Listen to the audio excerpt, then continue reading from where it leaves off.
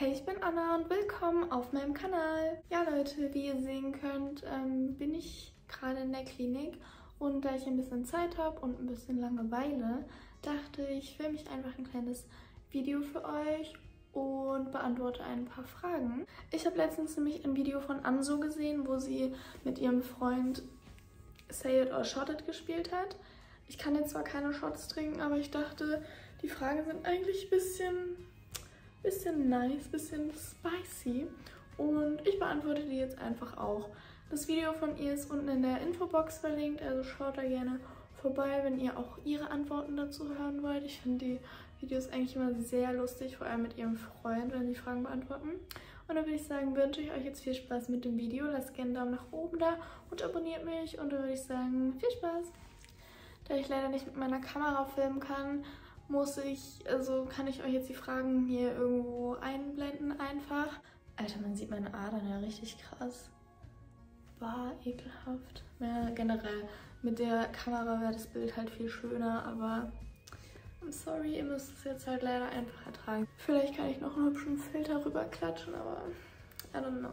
Frage Nummer 1. Was ist die Rekordzahl, die du am Tag mit jemandem geschlafen hast. Ich muss gerade gucken, dass ich kein Wort benutze, was nicht angemessen ist.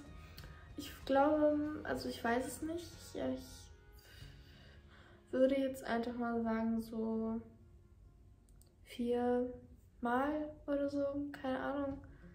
Ich glaube, das ist auch schon ein bisschen her, aber ich würde sagen, das, ist, das war so viermal oder so, I don't know. Die nächste Frage wäre jetzt, dass man über seine erste Masturbation erzählen soll. In dem Fall würde ich jetzt, wenn ich könnte, einen Shot trinken. Ähm, da ich aber kein Essen oder so habe und jetzt kein Wasser trinken will, weil es irgendwie auch lame ist, überspringen wir die Frage einfach. Kommen wir zu Frage Nummer 3 und zwar, stehst du eher auf harten oder ja, Blümchen-Sex? Und ich glaube, ich habe die Frage im Video schon mal beantwortet, ähm, dass es eigentlich komplett unterschiedlich ist. Also kommt halt drauf an, ne? Wenn man die Zeit hat und gerade in Stimmung ist, das liebevoll zu machen, dann why not? Und wenn man halt gerade irgendwie Bock hat, da ein bisschen was ähm, Spezielleres anzustellen, dann finde ich das auch in Ordnung. Also da habe ich jetzt keine Präferenzen. Bei der vierten Frage bin ich mir jetzt auch nicht sicher, ob ich die schon mal beantwortet habe. Aber es ist, ob man schon mal Nudes verschickt hat oder erotische Fotos. Und ähm, ja, habe ich gemacht. Macht es nicht, Leute. Ich meine, ich hatte Glück, ähm, aber you never know. Jetzt können wir eigentlich zwei Fragen miteinander verbinden. Und zwar die erste Frage, hattest du schon mal Oralverkehr und fandest es in dem Moment eklig? Und die andere Frage wäre, fandest du den Geruch von dem Intimbereich deines Gegenüber mal so eklig, dass du einen Abturner hattest oder so? Die erste Frage kann ich mit Ja beantworten. Also manchmal hat man da vielleicht einfach keinen Bock drauf oder so. Und die zweite Frage muss ich leider auch mit Ja beantworten. Wohl oder übel. Aber es war nicht jetzt mein Partner, es war irgendwann davor. Können wir kurz darüber reden, wie, wie der Hintergrund eigentlich aussieht. Also alles, was ihr gerade seht im Hintergrund, sind meine Sachen. Meine Mitbewohnerin hier im Zimmer ist gerade nicht da und ähm, ihre Sachen fangen halt auch erst hier an. Also das Bett hier hinten, hier mache ich mich immer fertig, deswegen sieht einfach nur messy aus, tut mir leid. Die Frage habe ich definitiv letztes Mal schon mal beantwortet und zwar ging es darum, wann ich das letzte Mal Geschlechtsverkehr hatte. Ich glaube, ich weiß es nicht. Also wisst ihr das immer? Ich weiß es nicht. Ich glaube drei Wochen. Keine Ahnung. Ich weiß es nicht. I don't know. Ich meine, ich bin jetzt auch schon eine Weile hier. Also. Nein, ich weiß es nicht. Keine Ahnung. Ich würde sagen drei Wochen. Die beiden hatten ja ein Video zu. Also Anso hat ja mit ihrem Freund ein Video gedreht und die nächste Frage war jetzt, wie er ihre Brüste findet.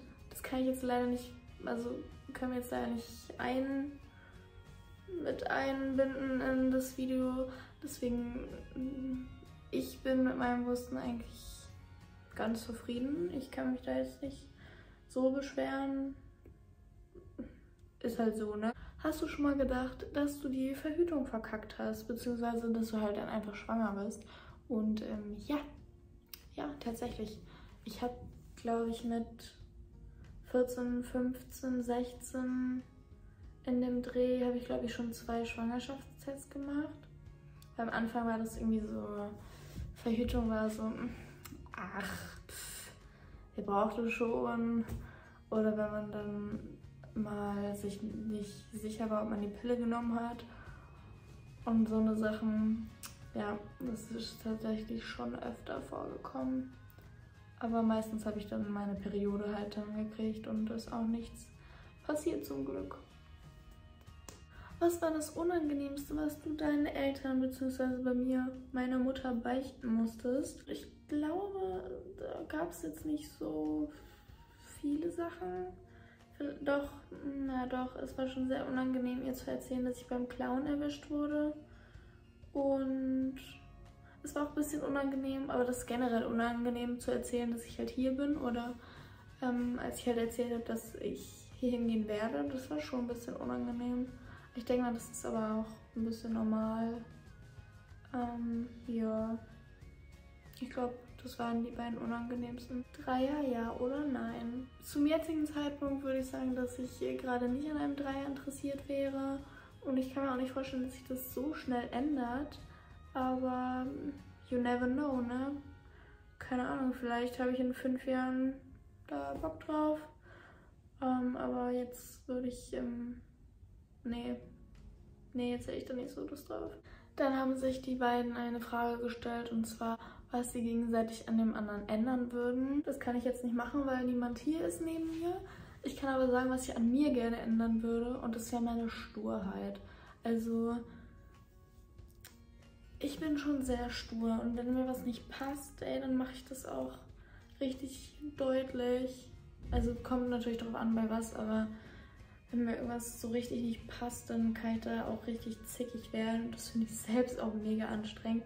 Weil ich denke mir so, okay, ganz ehrlich, anstatt du jetzt hier so eine Szene machst, so genieß einfach das, was du dann stattdessen machen kannst oder so. Und das, da bin ich leider nicht so. Das nervt mich ganz schön. Also ich wäre gerne ein bisschen weniger stur. Was ist der schlimmste oder härteste Korb, den du je bekommen hast? Ich habe schon überlegt, als ich mir das Video angeguckt habe, was mein schlimmster Korb war, aber mir fällt tatsächlich keiner ein. Also ich habe selbst schon mal einen Korb gekriegt, aber mir würde jetzt spontan so keine Situation einfallen. Weil ich bin auch nicht so, dass ich wenn ich Single bin, dann irgendwie so Typen anschreibe oder so. Ähm, weil ich mich das eh sowieso nicht traue. Was findest du besser, jemanden einzublasen oder geleckt zu werden? Und ähm, ohne da einen Kommentar abgeben zu wollen, sage ich einfach das Zweite. Hast du schon mal etwas nicht angesprochen, damit es der anderen Person nicht unangenehm wird? Ja, das ist safe schon mal passiert. Also kommt natürlich drauf an, wenn jetzt ein Mädchen ihre Tage kriegt oder eine Freundin ihre Tage kriegt und läuft mit einem roten Fleck durch die Gegend, so safe würde ich ihr das sagen, aber weiß ich nicht. Wenn sie, ja, keine Ahnung, kommt gleich auf die Situation drauf an. Also normalerweise würde ich ihr das schon sagen, weil es ja auch ein bisschen unangenehm dann, aber es gab definitiv schon mal irgendwelche Situationen, wo ich irgendwas nicht gesagt habe, wo es dann vielleicht auch mir selber unangenehm war das zu sagen, weil es mir in dem Moment aufgefallen ist, so wisst ihr. Also nicht mal, weil ich es der Person nicht sagen wollte, sondern weil ich nicht wollte, dass, dass jemand weiß, es mir aufgefallen ist. Macht das Sinn? Würdest du für 10.000 Euro deinem Partner fremd gehen? Und ich denke mir so, 10.000 Euro ist ja schön und gut, aber was soll ich mit 10.000 Euro anfangen? Also, wenn ich dafür meinen Partner verliere, habe ich ja gar nichts von. So, für 10 Millionen Euro, dann ist was anderes. Dann könnte ich sagen, komm, wir machen Hälfte, Hälfte danach. Vielleicht wird er mir dann verzeihen, wenn ich ihm sage, ich habe es für 10 Millionen Euro gemacht. Aber wenn ich sage, yo, ich habe dafür 10.000 Euro bekommen, 10.000 Euro? No. No way. No way. Never. Aber obwohl, das Ding ist ja, Fremdgehen ist ja nur Fremdgehen, solange es nicht abgesprochen ist, ne? Weil wenn die andere Person das ja weiß und das mit ihr okay ist, dann ist ja irgendwie kein Fremdgehen mehr, oder? Nee, wenn der andere mit einverstanden ist, ist es gar kein Fremdgehen. Ja, dann will ich vorher einfach abquatschen. So, hey, hast du Bock, hast du Bock auf 5000 Euro? Oder so? Dann, ja, aber nee. Nee. Dann kam wieder eine Frage, wo die beiden sich das gegenseitig gestellt haben.